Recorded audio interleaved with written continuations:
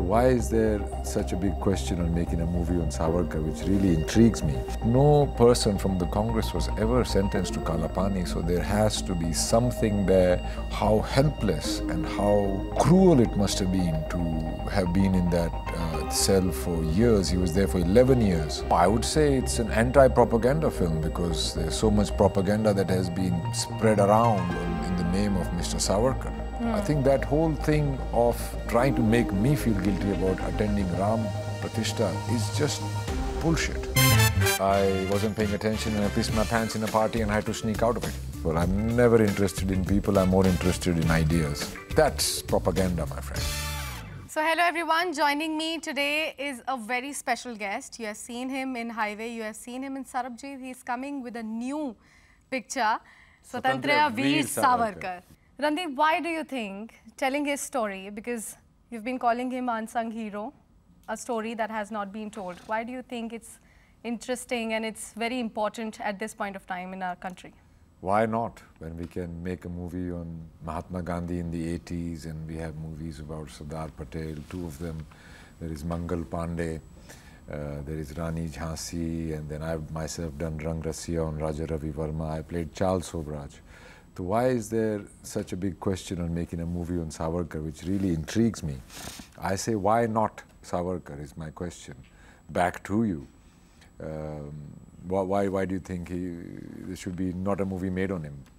Definitely. I believe it's a very crucial time also. But don't you think that releasing a movie about a figure who has been debated so much for so many years it's going to trigger a lot of political wars because we are just looking at the Lok Sabha elections in coming few months. Well, it is coincidental that this movie is releasing on 22nd of March. Um, I wanted to actually release it uh, on 15th of August last year mm -hmm. and then on Republic Day this year, earlier on.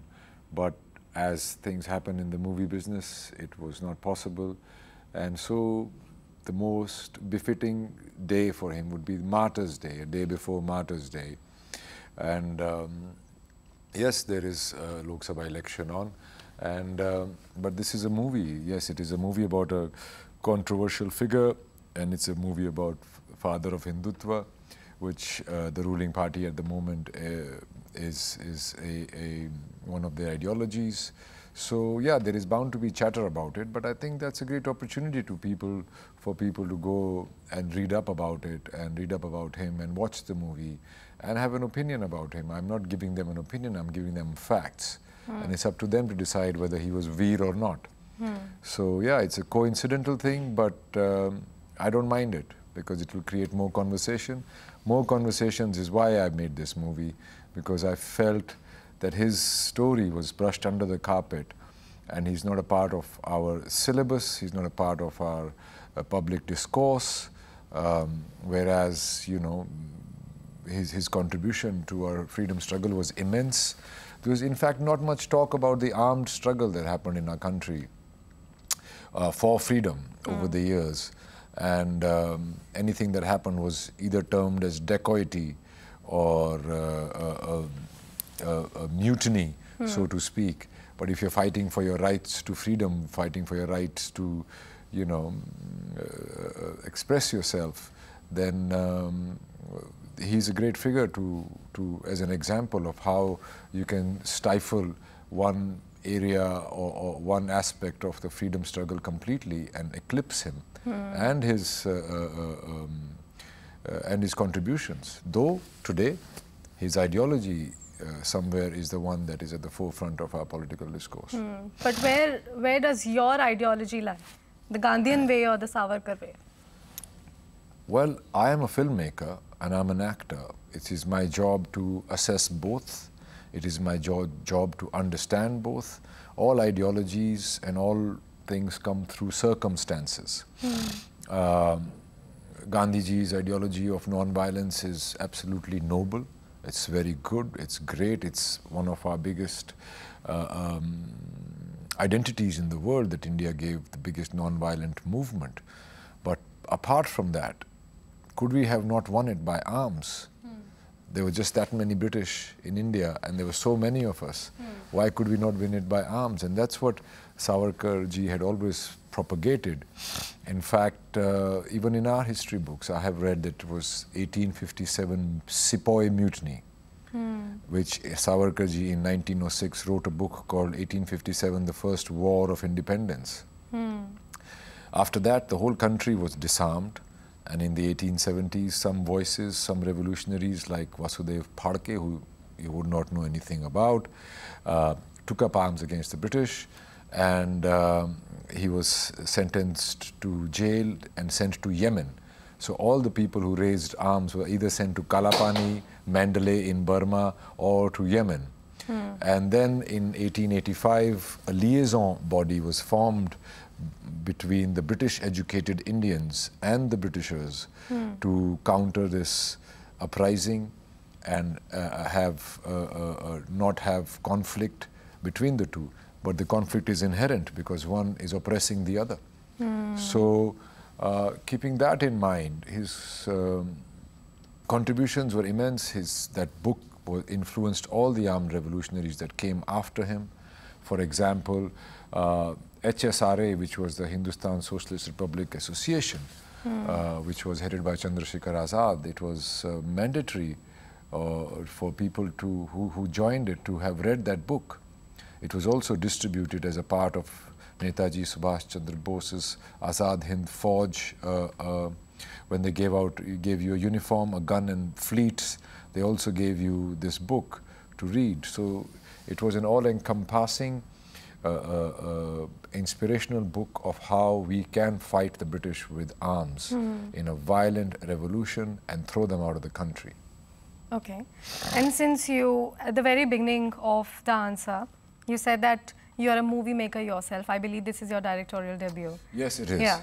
And uh, as a part of a research, I believe you went to Andamans also. You visited the Savarkar cell. I have been to Andaman. I have seen the jail. I have is, seen the cell as well. It was it horrific. It was horrific. It indeed is. How was the experience there? Because when you enter that cell, you sense something. What was that sense that you felt there? Because I read the caption that you wrote along with your picture that you could barely spend some minutes there. How can a person be given two times of life prison to stay in that Saat by Gyara. Yeah. Well, I had gone there, I was on a recce and I was also the director, so I was thinking how I'll place the shots and all that. And then mm. I, it occurred to me, hey, you're playing the role as well. So I said, okay, for an experience, well, just you guys lock me inside, you guys go do your other work and take my phone with you. And I sat inside, not his cell, but another cell like mm. his, because his cell you cannot shut because it's a it's a smarak. Everybody should be allowed to go in and out. Um, and I thought I, I, I'll be okay. So I sat there, and then within a few minutes, I started feeling claustrophobic. I started feeling uneasy, and I was trying to get their attention. I was screaming, they couldn't even hear me, and I was trying to get out. And that whole experience then gave me a little glimpse into how helpless and how um, cruel it must have been to have been in that uh, cell for years. He was there for 11 years. Hmm. And uh, they were not only put in cell, he was in isolation many, many times uh, for months on end, six months on end. Hmm. And um, it's, it's, it's, it's, it's torture. And then obviously they were made to work on the kolu for hours without any water. They were made to make uh, uh, ropes out of the, the husk of the coconut and many other things. So it, and also they, the cells don't have any sanitation. So it was a very, it was a huge torture that was imposed upon these people who were ready to, ready to take arms up against the British. And on the other hand, I do raise a question, even in my trailer, that no person from the Congress was ever sentenced to Kalapani, so there has to be something there that is left unexplored, unexplained, and uh, uninvestigated in that hmm, sense. That's a line in the trailer as well. I yes. saw the trailer yesterday. But Ran, uh, Randeep, I believe in the last couple of years, this is sort of a trend that has come to the entertainment industry that when you are trying to tell a story, specifically a biopic, it ends up becoming a propaganda. And then the questions are raised over the movie, the narrative, the storytelling as well. Are you Did scared of that angle coming up? No, I would say it's an anti-propaganda film because there's so much propaganda that has been uh, you know, spread around on, in the name of Mr. Savarkar without knowing who he was, without knowing anything about him. Hmm. Just give him name tags and use him for political mileage and to run down the father of Hindutva just because a party which, which somewhere follows Hindutva is in power. When Attenborough's Gandhi was made, nobody called it a propaganda film hmm. at that time, right? So uh, it has become a part of our discourse that any movie which does not fit a certain narrative is automatically a propaganda film. Hmm. No doubt there must be some movies, but I don't think the government interferes in the film industry so much that they nobody helped me to make this movie. This movie I've been trying to make for two years, and uh, not only did I co-write it with Utkarsh Naithani, I directed it, I acted in it, and I ended up producing it, putting my own money in it. So who's helping me? Where's the government? I hope they, I wish they helped me in making this movie. So I don't understand this propaganda thing, but I'm not scared of it either. Hmm. If it, people, some people, no matter how much you tell them the truth, they're going to believe what they want to believe, and it's up to them. It's a free country; they can believe whatever they want. But in fact, you attending the Pran Pratishtha ceremony at the Ram temple also became a point of debate. And now the What's trailer. Wrong? What's wrong? I am a born Hindu. My family, though we are more Arya Samajis, Jats are more Arya Samajis, uh, uh, then uh, follow the rituals of Sanatan Dharam, or not the rituals, but some of the practices of, especially it came about because the marriage ceremonies were so elaborate, so the, the poor farmers could not afford it. So Arya Samaj became very popular in places like mm. Haryana. But the greeting in Haryana is Ram Ram. Hmm.